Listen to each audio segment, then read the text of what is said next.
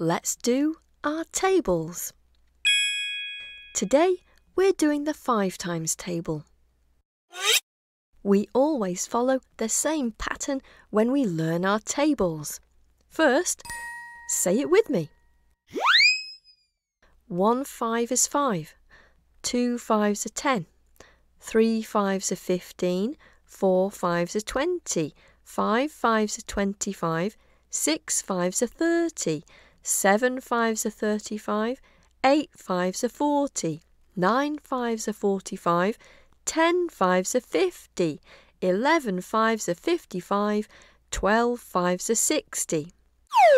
Look at the answers. They always end in 5 or 0, alternating each line. When we multiply by odd numbers, highlighted in purple here, we always get an answer ending in 5.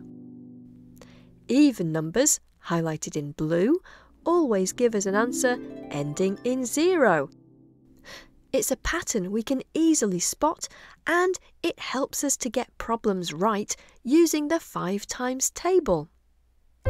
When it comes to getting the 5 times table into our permanent memory, I hope you remember our method.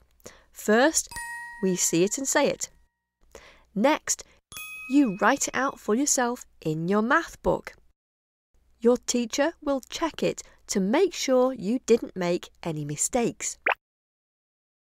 Then, read it aloud until you can say it without looking. Finally, quiz each other on it. Try to get them right and be fast you might want to check out my Kahoot for 5 times table practice. There's a link below. Have fun with your fives.